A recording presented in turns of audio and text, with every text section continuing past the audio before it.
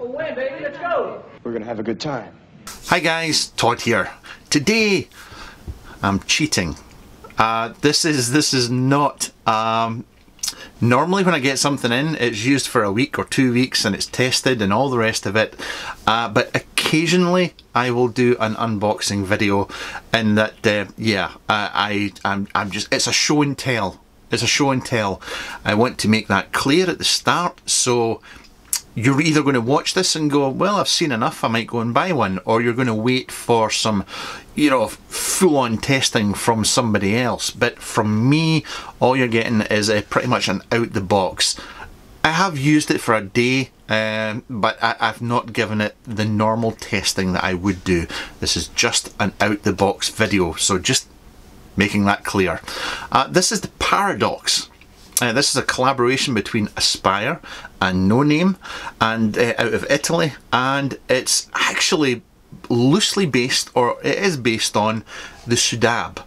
Now I reviewed this uh, a few weeks ago. This is the from No Name.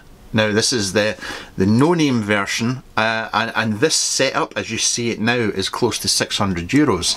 Uh, what I'm actually going to show you here the styling is very much the same, but this is mass produced. And I think Cheeky Vape are selling it for about £50 in the UK. Uh, so, here we go. So taking this out the sleeve and uh, this is the Quicksilver one.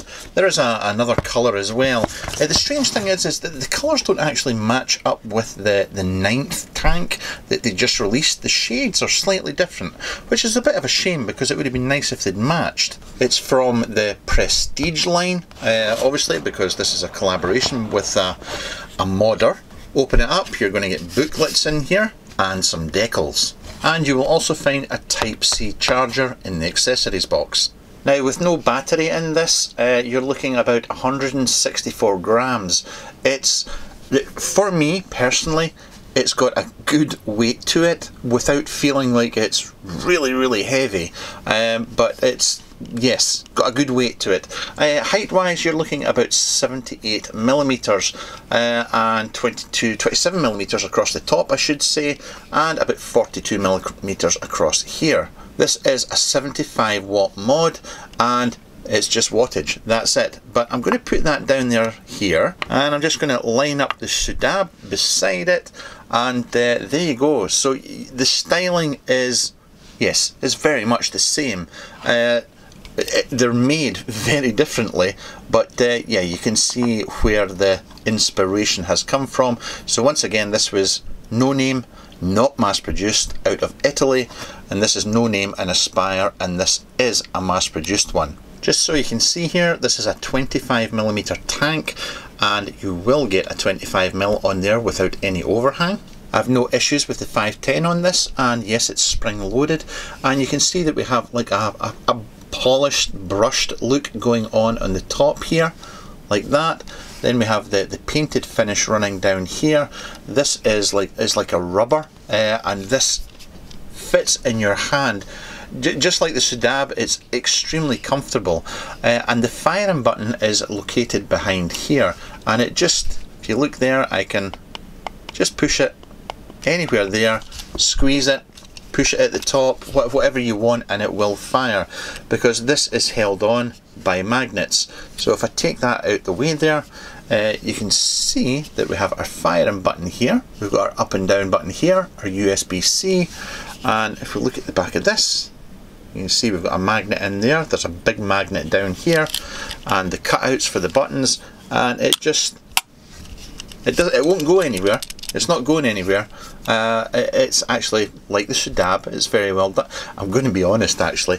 I actually prefer this one to the Sudab because the buttons here are far easier to get at. We do have the, the no-name logo here Aspire. These are actually, you know, engraved into the actual metal. Uh, down the bottom we have this and uh, we're going to put in a single 18650 battery. There is a sticker at the bottom telling you that it's positive up.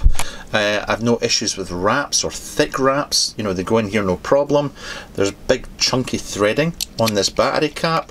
Uh, as always there's a few turns um, but um, yeah it's the, the threading's not bad at all. That's it down There you go. No rattles at all there.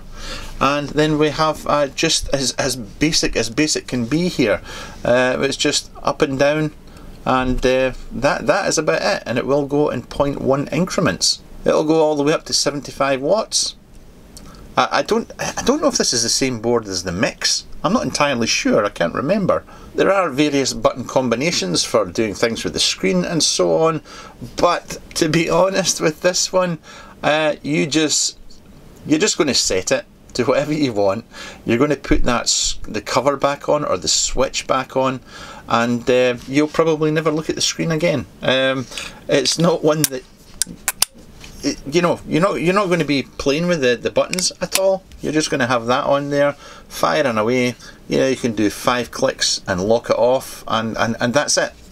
That's all you're going to be doing. You don't see the screens so you don't worry about the buttons it does have open circuit, short circuit, low voltage protection, overcharge protection, overheat protection, low resistance protection and battery reverse polarity. It's all built in there. Once again doing some shameless promotion, I've popped the HAR on here and uh, that's just a standard 22mm RTA and uh, we'll go for a vape and I'll let you know what I think. I must admit when I do these unboxing things I, I do feel like I'm cheating because it's just an initial impression. There's there's no long term testing or even a week or two weeks testing. It's just an out the box experience and what do I think. Uh, I will say out the box. I've had this for quite some time, well, a couple of months, and I love the firing button on the Sudab. It is super. It was the best thing about the mod was the firing button, and I'm. It's the same.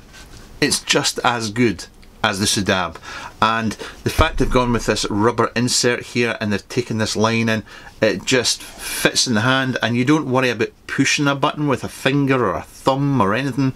You just squeeze it and away you go